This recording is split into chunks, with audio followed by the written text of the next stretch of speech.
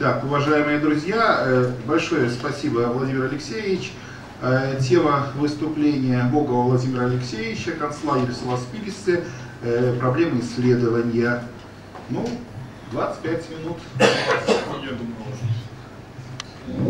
начну с того, что если кто-то не слышал или еще не знает, то в январе этого года широкой публике была предоставлена представлена научная монография об истории крупнейшего нацистского лагеря в Саласпилсе, называется Aiz šiem vārtiem vaid zeme, Salaspils nometne.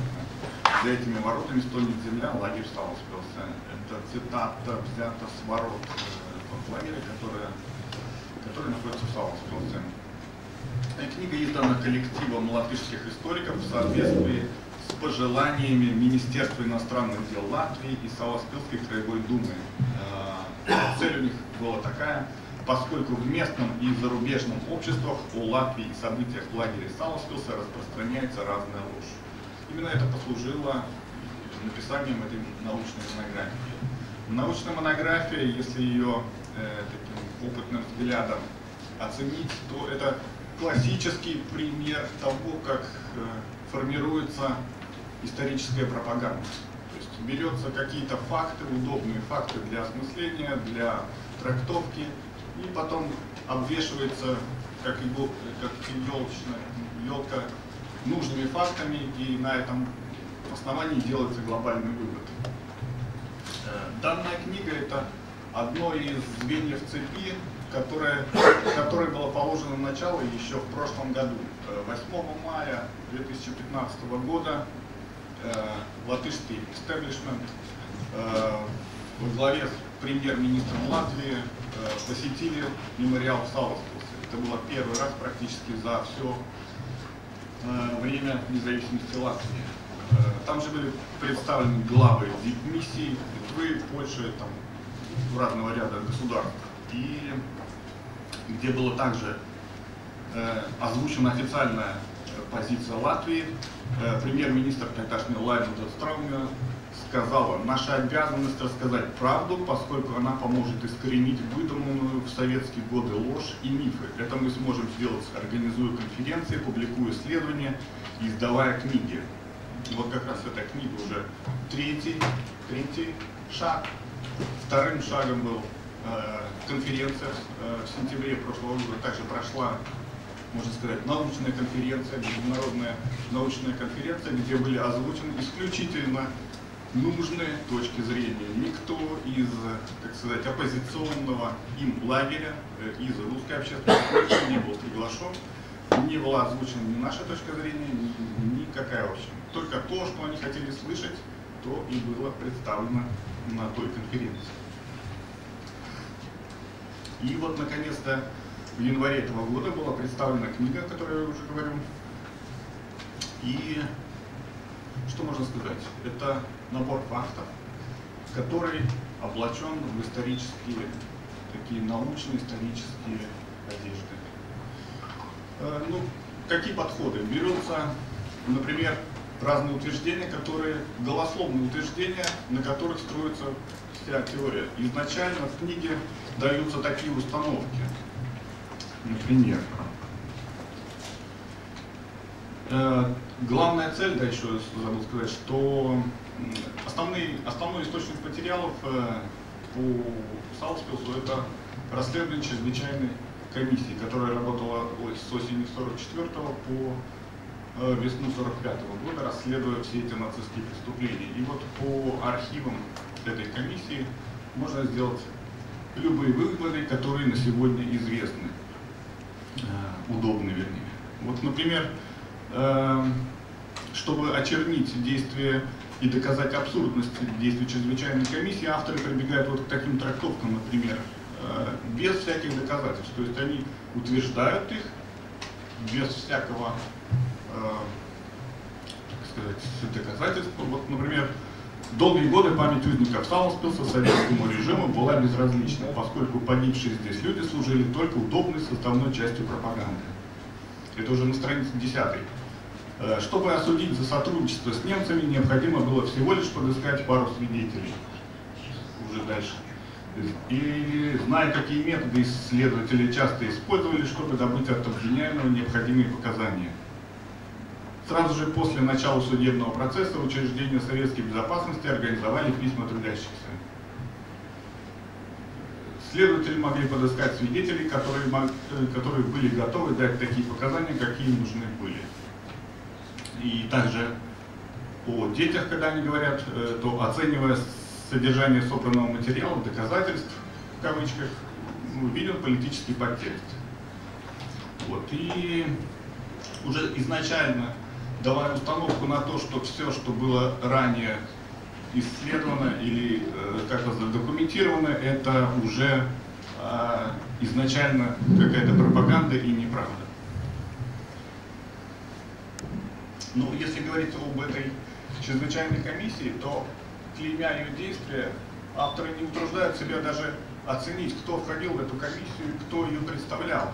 А эта комиссия, э, там были, да, представители следственных органов, не без этого, но э, в своем большинстве эту комиссию, например, представляли такие люди, э, общественные деятели, доктор медицины Паул Страдович, писатель Янис Кудрабкаунс, священник, учительница и другие. То есть э, теперь им вину в то, что они не, не, неправильно вели следственные какие-то действия, что-то не так, но тем не менее это были э, в то время э, известные люди, которые хоть что-то могли как-то подвинуть, подвинуть общественность на какие-то действия. И это авторы исследования утверждают, упомянут о, о том, что эти люди ну, не совсем полномочны были, и на основании этих делают выводы, что чрезвычайная комиссия не желала делать правдивые выводы. Э, кроме того, многочисленные данные, на которых э, сегодня строят э, авторы свою версию, версию событий 40-44 года,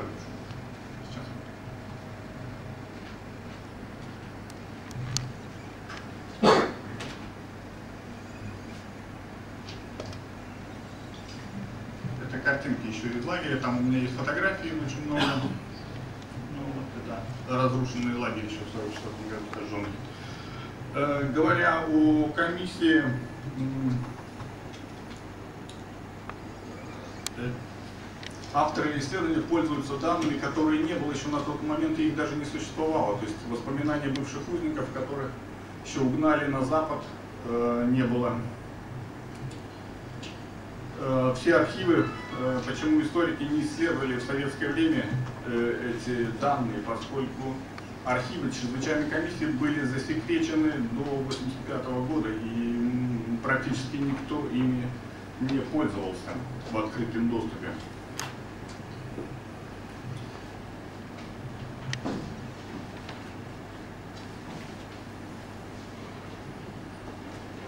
Э, да, еще поясняя ситуацию с архивами, исследователи в привычном им ключе антисоветской пропаганды указывают лишь на то, что советская власть занималась пропагандой нацистских преступлений для того, чтобы скрыть преступления сталинизма и дискредитировать латышское общество иммигрантов. Такое предвзятое отношение к наследию советского режима проявляется и в авторской градации узников лагеря, точнее к воспоминаниям разных категорий узников лагеря. Авторы предлагают делить воспоминания бывших узников на две группы – Первая группа – это жившие после войны при советском тоталитаризме, и вторая категория – это живших на демократическом Западе. Таким образом, авторы уже в самом начале исследования, исследования тенденциозно делят доступные данные о лагере на, на своего рода верные и неверные. Еще обращает на себя внимание факт, тот, что автор утверждает, что у комиссии были универсальные свидетели, которые э, следователи использовали в своих целях.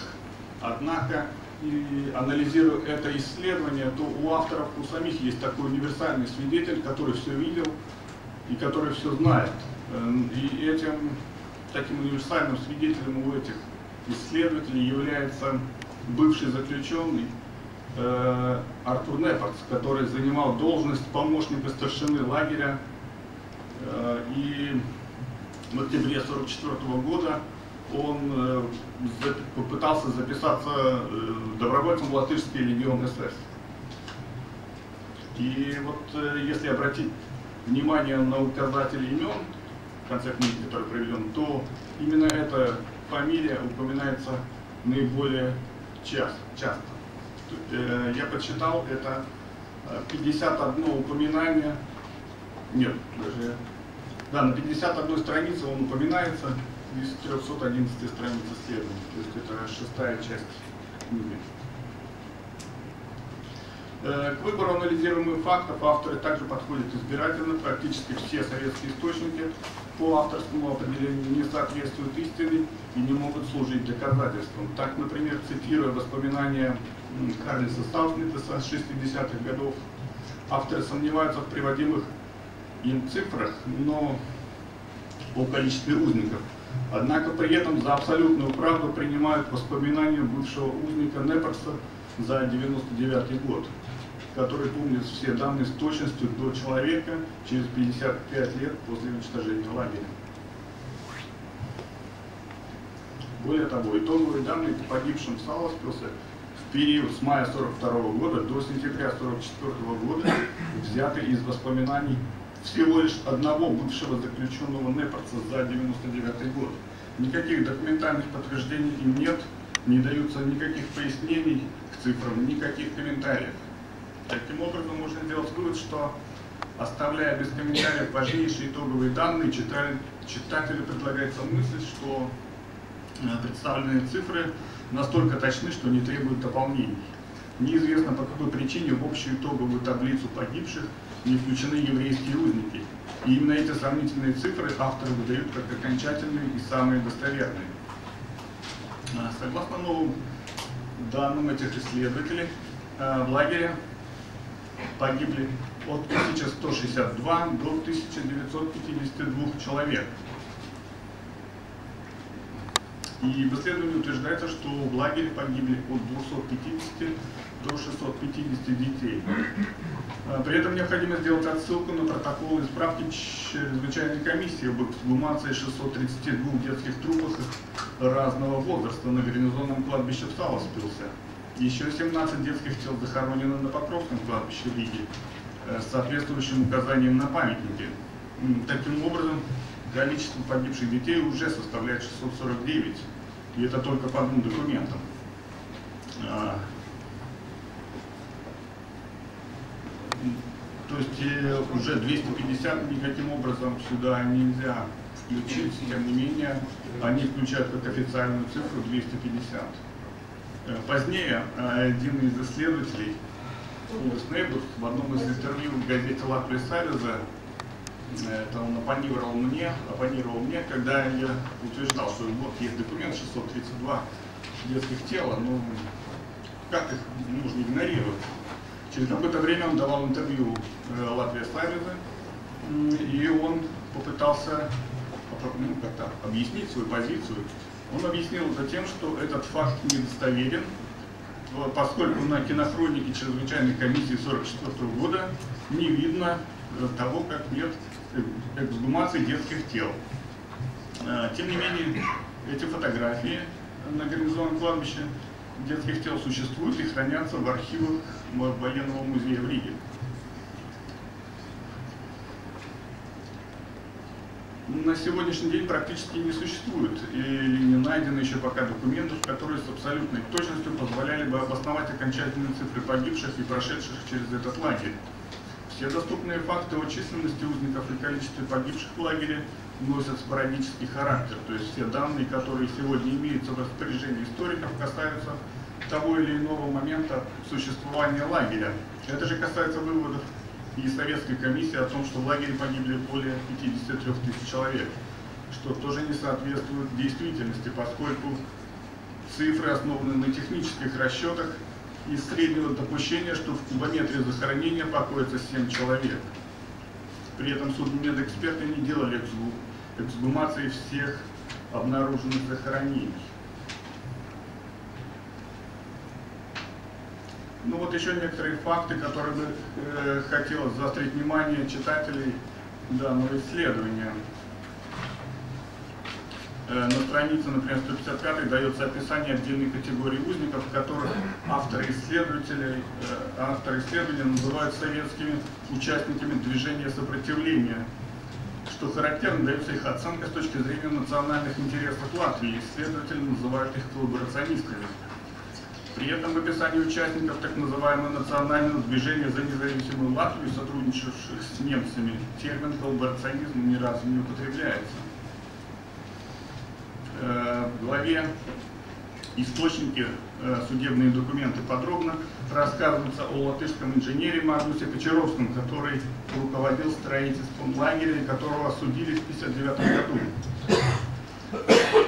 Авторы рассказывают о том, что советские следователи практически оклеветали Кочаровского и голословно утверждают, что следователи могли подыскать нужных свидетелей для расправы над ним. Рассказывается, что порой Кочаровский был несколько суров с евреями, военнопленными, строившими лагерь, но это от него требовали обстоятельства и сроки строительства.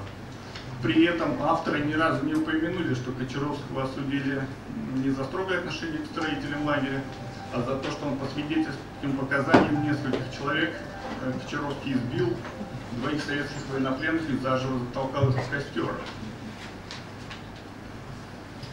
Э, довольно большая по объему пятая глава лагерь Салоспился в дискуссиях нацистской администрации. Авторы рассуждают и приводят различные фрагменты из высказываний и переписки администрации лагеря, которые называют его расширенной полицейской тюрьмой и воспитательным трудовым лагерем, избегая применения термина концентрационный лагерь. При этом авторы в данной главе также отрицают и не принимают версию, что данная тюрьма и воспитательно-трудовой лагерь по сути выполнял функцию концентрационного лагеря, который подчинялся не управлению лагерей СС в Берлине, а местной администрации СД, полиции безопасности.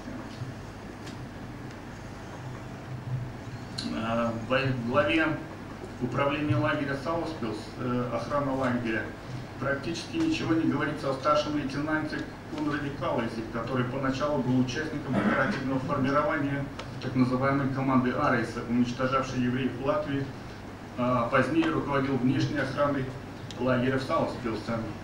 В 1944 году Каллес был лишен гражданства США за скрытие некоторых фактов из своей биографии и проживал в Австралии. Э, в 2000 году власти Латвии предъявили ему обвинения в военных преступлениях, но дело начали искусственно затягивать.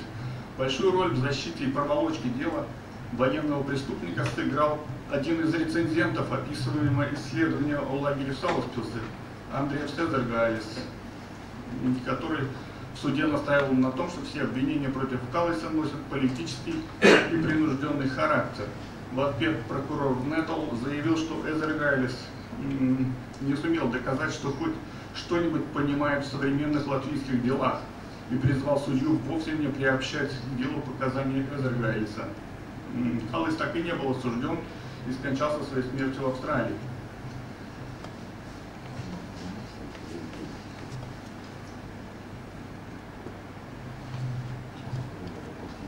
Ну, если еще говорить о морально-этических качествах, то вот э, есть в главе о детях, когда они рассуждают о погибших э, там в концлагере, то у них есть такая фраза, весьма неоднозначен выглядит утверждение авторов о том, что по сравнению с детскими лагерями Гиммлера на Украине, цитата, детям, привезенным в Саласпилс, повезло, поскольку их позже разместили у сельских жителей в приюты и передали в семьи, поэтому они выжили после войны. Целом, при прочтении к данному исследованию нужно относиться по-авторски, то есть также критически. Это исследование можно сравнить со своеобразной мозаикой. Все факты врозь каждый сам по себе ценен, но сложив их воедино, увидеть картину целиком, которую авторы обещали в начале книги, не получится, так как в завершении авторы производят подмену и предлагают свою им необходимую картину. Ну, тем не менее, э, данное исследование можно оценить положительно, поскольку тема истории Сауспаса вновь попала в общественное пространство, память о бывших и погибших снова всплывает в умах, и сердцах неравнодушных людей. Во-вторых, в условиях дефицита документальной информации по истории лагеря были в свет новые факты и данные о его существовании. В-третьих, есть шанс, э, что в будущем, благодаря общественным дискуссиям, эта тема не угаснет и подвигнет исследователей искать и находить все новые и новые данные. Спасибо. Уважаемые коллеги, большое спасибо докладчику. Есть ли вопросы?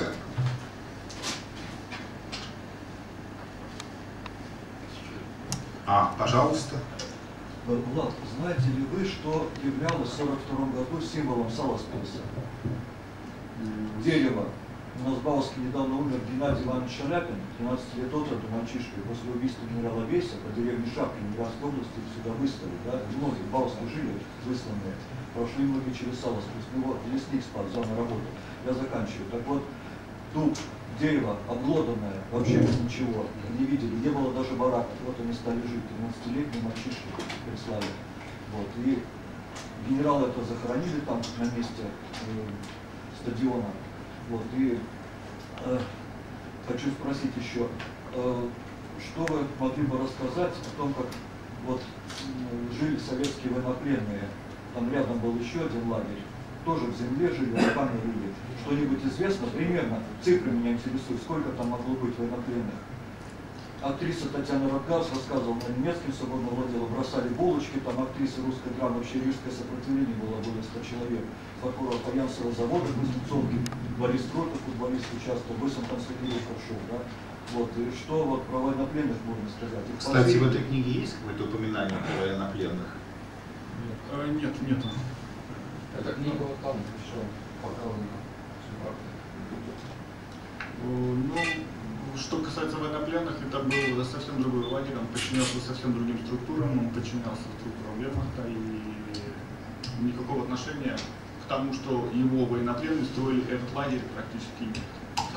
Я извиняюсь, просто хотел сказать о том, что совершенно в темном состоянии остается история военнопленных в Риге. Да? Недавно издал книгу Ефима Львовича Костера, главному инженеру э, РВЗ. И он пишет о том, что тоже на их предприятии был лагерь для военнопленных. Вот, окружен колючей проволокой. И таких много, 26 концлагерей примерно по Латвии. К сожалению, это проблема не только Латвии, но к нашему великому стыду и в России эта проблема стоит очень болезненно, поскольку трагическая судьба военнопленных 41-42 года, она изучена из рук вон плохо, хотя немецкие коллеги отмечают, что судьба советских военнопленных это преступление э, нацистской Германии, носящее в себе признаки геноцидальности. Это не моя точка зрения, это мнение немецких коллег. По выступлению э, Владимира Алексеевича, именно по той книге, э, по тем новым исследованиям, о чем он говорил. Есть ли еще вопросы? Большое спасибо за ваше интересное выступление.